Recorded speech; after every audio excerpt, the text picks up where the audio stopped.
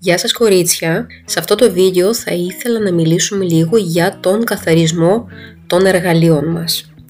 Είναι πάρα πολύ βασικό αυτό το πράγμα διότι εμείς είμαστε υπεύθυνοι για την υγεία τη δική μας και των πελατών μας. Ο καθαρισμός αποτελείται από δύο βήματα. Εμείς σε αυτό το βίντεο θα μιλήσουμε για το πρώτο βήμα.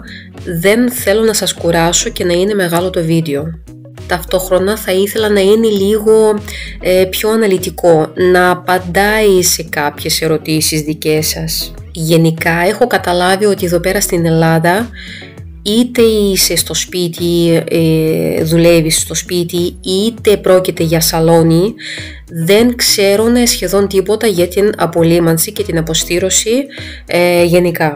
Από την αρχή του βίντεο σας δείχνω κάποια εργαλεία, κάποιες φρέζες, κάποια ε, κοπτάκια που είναι ακαθάριστα. Έχουν γεμίσει κατά την ώρα του μανικιούρ με σκόνη, με πτερίγια, με ακόμα και αίματα και πριν μπουν στην αποστήρωση θα πρέπει να γίνει απολύμανση, να φύγουν όλα αυτά.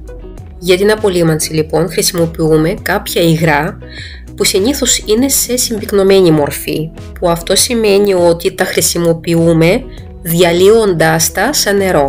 Η σωστή δοσολογία συνήθως αναγράφεται και στις οδηγίες αλλά και στο site που παραγγέλνετε. Σας έχω βγάλει screenshot ένα παράδειγμα για να γίνω πιο κατανοητή.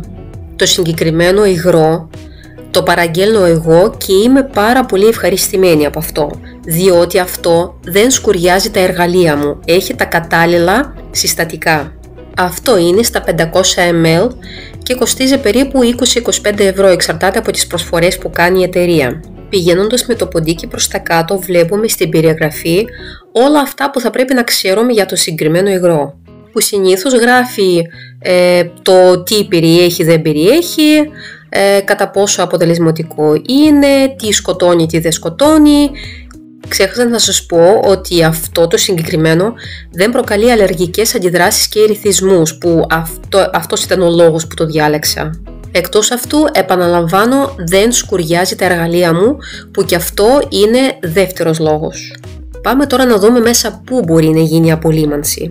Πολύ καλή λύση είναι διάφορες συσκευές καθαρισμού εργαλείων με υπερήχους. Οι τιμές κυμαίνονται ανάμεσα 50-100 ευρώ. Βλέπετε εδώ πέρα που έχουμε Black Friday, οι τιμές έχουν κατεβεί για κάμποσο. Οπότε είναι πάρα πολύ καλή ε, στιγμή για να αποκτήσετε ένα τέτοιο μηχάνημα. Η τιμή εξαρτάται από τα watt του μηχανήματος και από την χωρητικότητα. Στις ε, δοσολογίες της απολύμανσης του υγρού διαβάσαμε ότι θα πρέπει μέσα σε ένα λίτρο νερό να διαλύουμε 60 ml του συγκεκριμένου υγρού. Εδώ να σας πω ντροπή μου, δεν έχω σύριγγα, αλλά έχω ένα σφινάκι που ξέρω ότι είναι 30 ml και χρησιμοποιώ, ε, χρησιμοποιώ αυτό για δοσομέτρηση. Το μηχάνημά μου είναι στα 750 ml, οπότε δεν χωράει το λίτρο και χρησιμοποιώ τα 500 ml.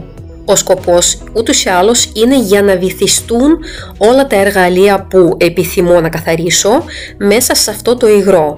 Οπότε βάζω εγώ 500 ml μέσα σε δοχείο εδώ πέρα, προσθέτω τα 30 ml το σφινάκι του υγρού ε, που έχω ετοιμάσει και γεμίζω το δοχείο βάζοντας τα εργαλεία μου ένα-ένα μέσα σε ε, έτοιμο υγρό. Εδώ επίσης κάτι σημαντικό, όλα τα κοπτάκια, τα ψαλιδάκια ανοίγουμε όσο επιτρέπουν οι λαβές, ε, βυθίζοντάς τα μέσα στο διάλειμμα. Μπορούμε να βάλουμε αρκετά εργαλεία, δεν θα, εντάξει σε λογικά πλαίσια δεν θα το γεμίσουμε μέχρι πάνω, ο χρόνος της απολύμανσης εξαρτάται από, το, από την δοσολογία του υγρού που έχετε βάλει.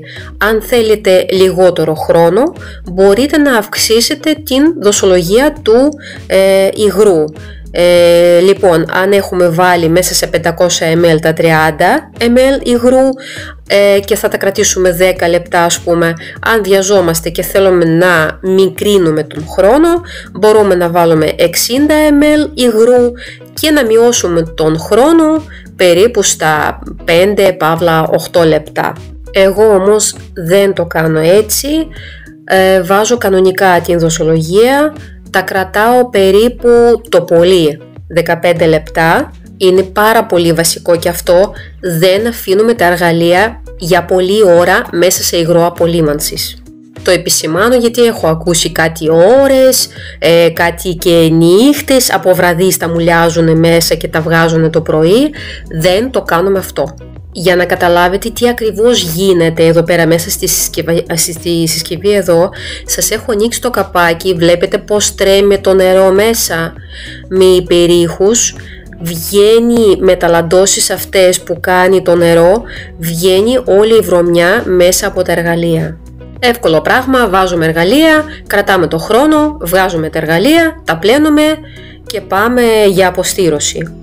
Όταν δεν έχουμε όμως την οικονομική άνεση να πάρουμε ένα τέτοιο μηχάνημα, πάντα έχουμε άλλη μία λύση που είναι κάποια ειδικά δοχεία για απολύμανση, όπως αυτό που δείχνω τώρα, είναι πάρα πολύ φτηνά, γύρω στα 10 ευρώ θα σας βγει, νομίζω παραπάνω δεν είναι. Όπως και στο άλλο το μηχάνημα, εδώ με τις ίδιες δοσολογίες μπαίνει το υγρό, κάνουμε το διάλειμμα, βυθίζουμε τα εργαλεία και κλείνουμε το δοχείο. Και θα μου πείτε τώρα, βρε φιλενάδα, και γιατί να πάω εγώ να πάρω εκείνο το μηχάνημα και θα δώσω τόσα λεφτά; Όλη η πλάκα σε αυτή την περίπτωση είναι το ότι όλη τη δουλίτσα θα πρέπει να την κάνουμε μόνες μας. Με ένα βουρτσάκι θα πρέπει να καθαρίσουμε τα εργαλεία μας ε, μόνες μας. Αφού έχουμε μουλιάσει τα εργαλεία μέσα σε διάλειμμα που έχουμε φτιάξει, τα κρατήσαμε αρκετό χρόνο, τα βγάζουμε ένα-ένα και τα δουλεύουμε σιγά σιγά προσεκτικά σε όλα τα σημεία με αυτό το βουρτσάκι. Όλη αυτή την διαδικασία της απολύμανσης και την αποστήρωσης επίσης θα πρέπει να την κάνουμε με γάντια. Πρέπει να μάθουμε κορίτσια να προστατεύουμε τον εαυτό μας. Βλέπετε πώς αφρίζει το υγρό; Είναι σωστή αντίδραση, έτσι πρέπει. Με αυτόν τον τρόπο βέβαια είμαστε παρούσα στην απολύμανση.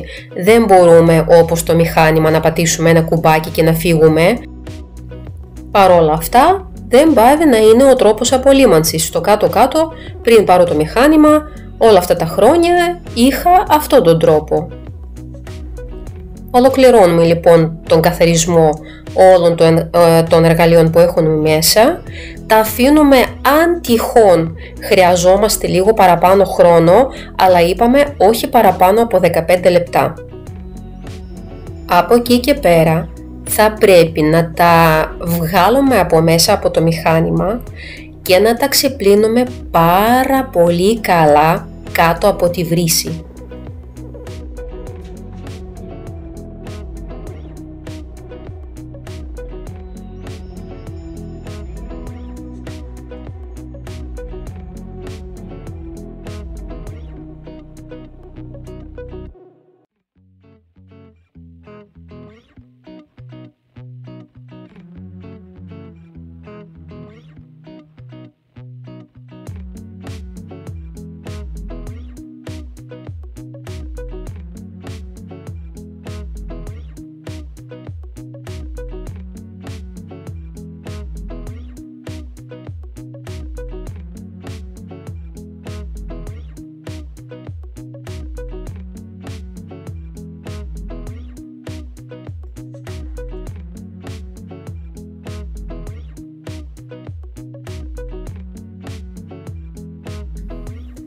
Λοιπόν, στη βρύση θα, που θα πρέπει να τα πάμε, θα πρέπει να τα έχουμε κάτω από τρεχούμενο νερό, περίπου για 5 λεπτά σίγουρα θα πρέπει να φύγει όλο το υγρό απολύμανσης πάνω από τα εργαλεία γιατί αλλιώς θα χαλάσουν μέσα στον κλίβανο και θα πρέπει να φύγει αυτή η γλίτσα που αφήνει το υγρό, καταλάβατε;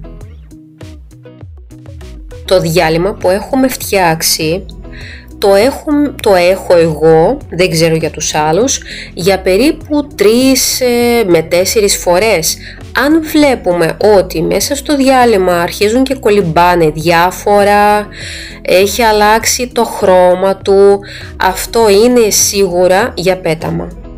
Αφού τα έχουμε πλήττει κάτω από τη βρύση, κάτω από τρεχόμενο νερό, θα πρέπει λοιπόν να τα στεγνώσουμε. έχω λοιπόν μία σχάρα που την έχω βγάλει από μία συσκευή απολύμανσης UV. Σίγουρα θα έχετε δει κάτι τέτοιο. Θα, θα σας τη δείξω στο επόμενο βίντεο. Την καλύπτω με 2 με 3 στρώσεις χαρτί κουζίνας και απλώνω όλα τα εργαλεία μου να στεγνώσουν εκεί πάνω. Η πιο συνηθισμένη κατάσταση είναι όταν κάνω απολύμανση από βραδείς, αφήνω τα εργαλεία να στεγνώσουν όλη τη νύχτα και το πρωί πριν ξεκινήσω τη δουλειά βάζω τα εργαλεία μέσα σε κλίβανο να προλάβει να γίνει αποστήρωση πριν ξεκινήσω τη δουλειά μου. Με μία πετσέτα χάρτινη μπορούμε να αφαιρέσουμε κάποια περίσσια νερά που υπάρχουν πάνω στα εργαλεία. Θα τα αφήσουμε λοιπόν είπαμε μέχρι να στεγνώσουν για να περάσουμε στο δεύτερο βήμα που είναι αποστήρωση. Θα το δούμε όμως στο, στο επόμενο βίντεο για να μην σας πέσει βουνό όλη αυτή η διαδικασία. Ως τότε φυλάκια πολλά, τα λέμε στο επόμενο βίντεο λοιπόν κορίτσια. Αχ ναι, και αν έχετε απορίες, welcome στα σχόλια, να τα δούμε ακόμη πιο αναλυτικά.